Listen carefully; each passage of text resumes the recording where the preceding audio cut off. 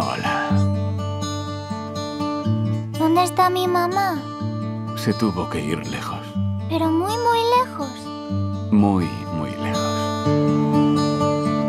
John, tus circunstancias son excepcionales, pero el número de familias que podemos tener en cuenta antes de decidir es limitado.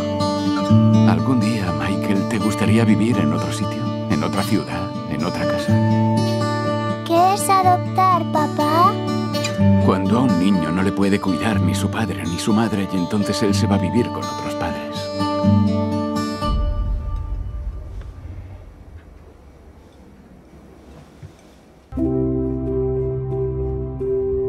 Pensé que lo sabría.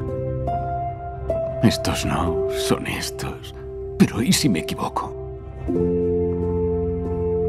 Me estoy saltando muchas normas que conozco y seguro que muchas que no conozco.